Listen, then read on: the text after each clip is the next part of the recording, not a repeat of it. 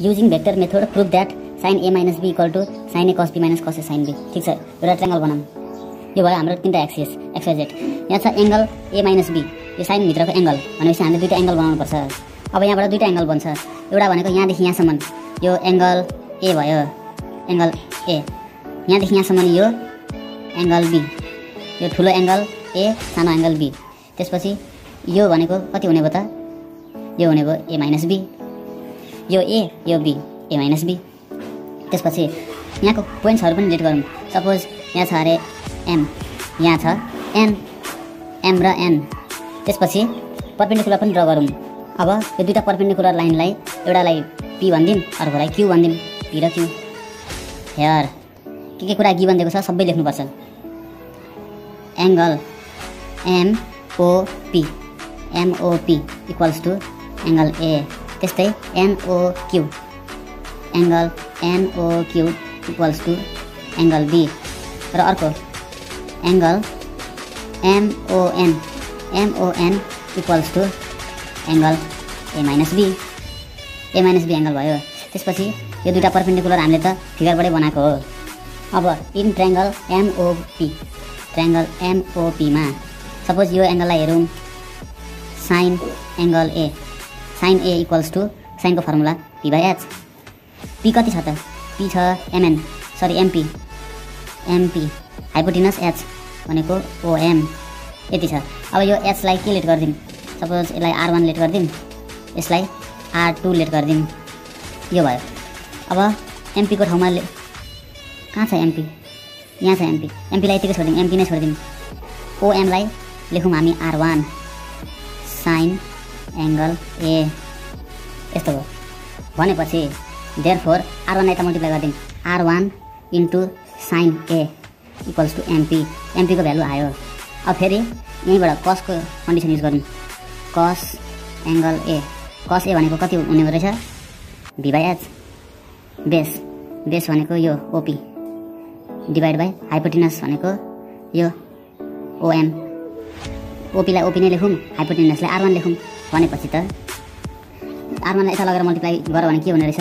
Therefore R one into cos A equals to OP R one र OP पनि आयो। त्यस्तै अब फेरि इन अर्को triangle in triangle NOQ NOQ यसमा sine angle B sine angle B भनेको यो इक्वल्स टु फर्मुला त्यही हो पी बाई एच पी भनेको पर्पेन्डिकुलर एनक्यु एनक्यु एङ्गल बीबाट हेर्दा perpendicular NQ divide by H hypotenuse ON ON equals to NQ divide by ON भनेको R two R two त्यसपछि therefore R two into sine angle B equals to NQ यो एउटा भयो.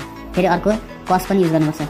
Cos angle B equals to कसको formula base by hypotenuse base OQ hypotenuse ON अब ओक्युको ठाउँमा के लेखिदिउँ ओक्युको ठाउँमा ओक्यु नै लेखिदिउँ ठिकै छ ओएन भनेको त आर टू हो आर टू लेखिदिउँ देयर फोर आर टू क आर टू र यो कस बी मल्टिप्लाई भयो भने के हुन्छ त R two cos B equals to OQ यो पनि बुझि नै हाल्नुभयो त्यसपछि अब हेरौँ then coordinates coordinates of M यो एमको coordinates suppose X Y Z कति हुन्छ त अब एक्स एक्सिसतिर ओपी गएको छ ओपी भनेपछि यहाँ लेखिदिउँ ओपी वाइ एक्सिसतिर यता माथि ए एमपी एमपी गएको छ एमपी जेड एक्सिसतिर त छैन जिरो अब ओपीको भ्यालु कहाँ छ ओपी यहाँ छ R one cos A comma एमपीको value यहाँ छ R one sine A comma zero यो भयो एमको कोअर्डिनेट्स त्यस्तै अर्को कोअर्डिनेट्स अफ एन यसको एक्सवाइजेड हेरौँ कति हुँदो रहेछ। एन भनेको यहाँ छ। सुरुमा एक्स अनि वाइ अनि जेड एक्सिस जेड एक्सिस भनेको यतापट्टि। यो थ्रिडीमा माथि देखाउन खोजेको हाइट सुरुमा एक्स एक्सिसतिर ओक्यु त्यसपछि वाइ एक्सिसतिर माथि एनक्यु त्यसपछि जेड एक्सिसतिर त छैन। यतापट्टि आएकै छैन। जिरो ओक्यु ओक्यु ओक्यु यहाँ छ। R two cos B NQ R two sine B. Comma zero ल ठिक छ। दुइटैको कोअर्डिनेट्स आयो। अब पोजिसन भेक्टर भनेको थाहा छ। ओरिजिनदेखि ओरिजिनदेखि त्यहाँसम्म। अब ओएनको पोजिसन भेक्टर कति हुन्छ? X two minus X one Y two minus Y one Z two minus Z one यस्तो हुन्छ। अब X two Y two Z two त यो पोइन्टहरू भइहाल्यो अब X one Y one Z one भनेको ओ ओ भनेको origin zero suppose X two minus zero Y two minus zero Z two minus zero किनभने यसको coordinate zero comma zero comma zero अब कति हुने भयो त यो? X two comma Y two comma Z two भनेपछि यो जति छ त्यति नै हुने भयो यिनीहरूको position vector Z four ON vector equals to ON vector equal to यही हो R one cos A comma R one sine A comma zero त्यस्तै ओएन भेक्टर ओदेखि एनसम्मको पोजिसन भेक्टर ओएन र ओएन ओएन पनि यति नै हुन्छ। R two cos B R two sine B comma zero लु यहाँसम्म भयो। अब स्पेसल केस अब अर्को पेजमा। पाँच सेकेन्ड पर्खिन्छु। यो बुझिहाल्नुभयो होला।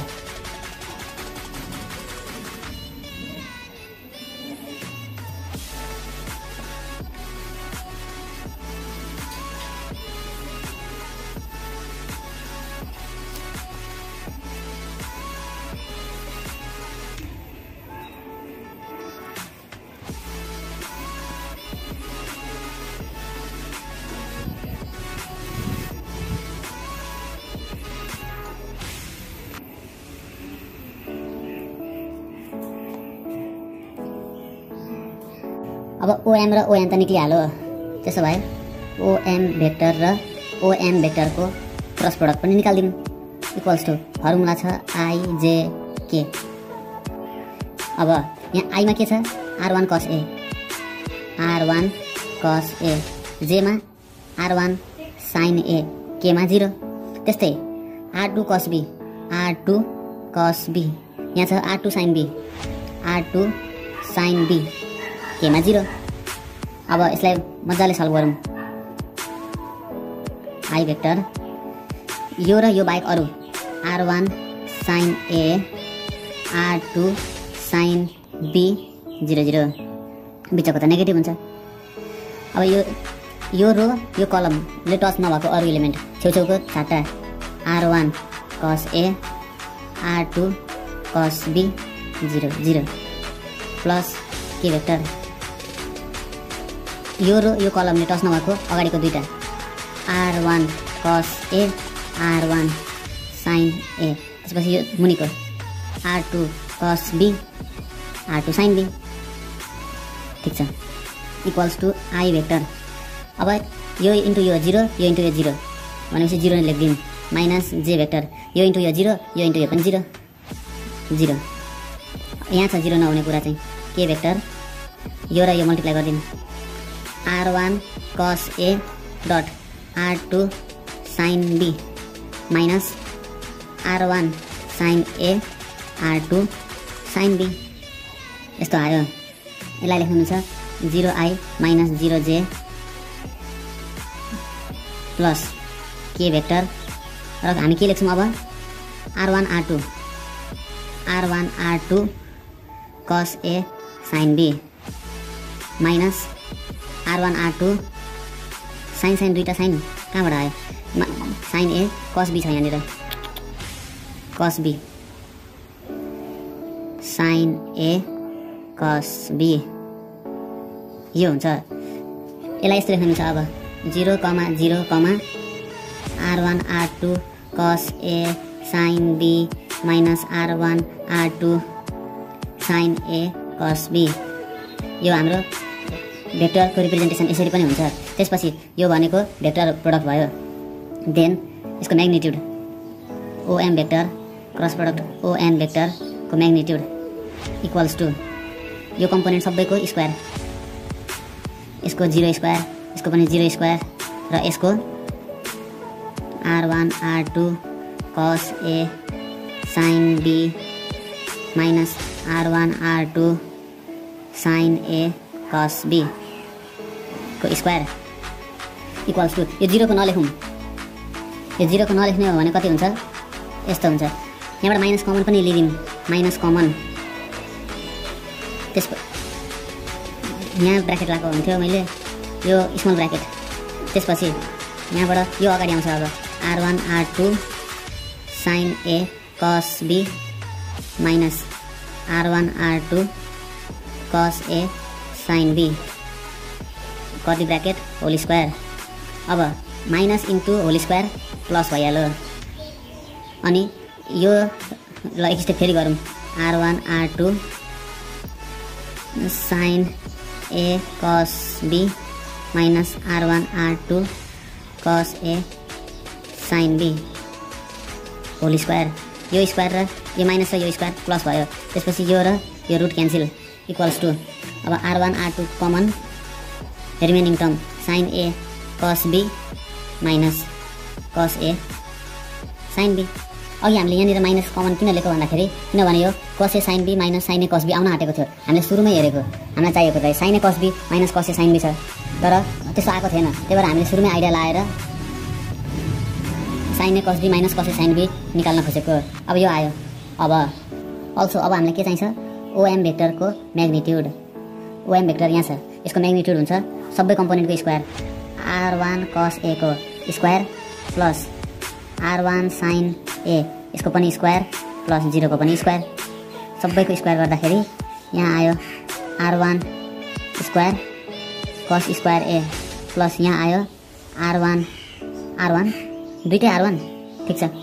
R one square sine square A zero हटाइदिउँ। यहाँबाट पनि आर वान स्क्वायर यहाँबाट पनि R one square R one square common remaining term cos square A यताबाट के रह्यो यहाँ त कमन आइसक्यो साइन स्क्वायर ए अब यो भनेको कति हुन्छ यहाँ लेखौँ धेरै ठाउँ युज नगरौँ पछि अट्दैन R one square sine square plus cos square equals to one यो हामीले सानो क्लासमा पढेको फर्मुला यो भनेको आर वानको स्क्वायर भनेको आर वान मात्रै भयो किनभने स्क्वायर रुट क्यान्सल हुन्छ अब ओएमको पनि म्याग्निट्युड यसै गरी निकाल्नुपर्छ फर्मुला यही हो सबै कम्पोनेन्टको स्क्वायर।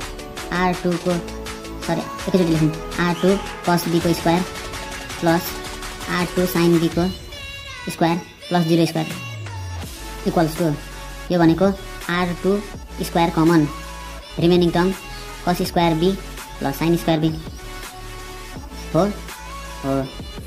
अब यसो सोचौँ यहाँबाट। Square root cancel cos square B plus sine square B one भयो भनेपछि सिधै यसलाई आर टू मात्रै लेखिदिउँ। अब हाम्रो फाइनल एन्सर आउन आँटेको छ। यहाँबाट हेरौँ। सपोज यो angle angle A minus B angle A minus बीलाई हेरौँ। यो र यो यो दुईवटा भेक्टरको बिचमा छ ए माइनस बी भनेपछि यो एङ्गल एङ्गल ए माइनस बीको लागि sine angle A minus B equals to यो दुईवटा एङ्गलको बिचमा के के छ? ए माइनस बीको छेउछाउमा एउटा एमओ छ अर्को ओएन छ। यो यो दुईवटा लाइन छ। यो लाइन एङ्गल ए माइनस बीको बिचमा यो दुईवटा लाइन छ। भनेपछि फर्मुला फर्मुला यस्तो हुन्छ। Magnitude of OM OM vector cross product OM vector OM र ओएनको बिचमा छ। डिभाइड बाई यो यसको इन्डिभिजुअल म्याग्निट्युड ओएमको म्याग्निट्युड मल्टिप्लाई विथ ओएनको म्याग्निट्युड इक्वल्स टु कति आएको छ यसको?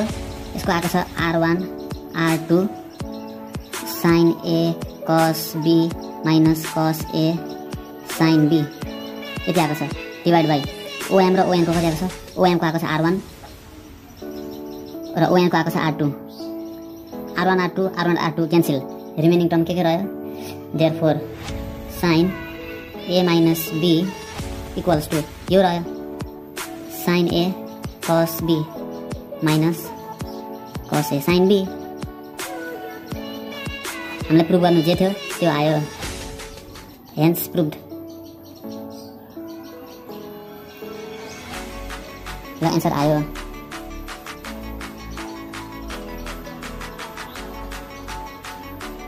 अब एकचोटि सुरुबाट हेरौँ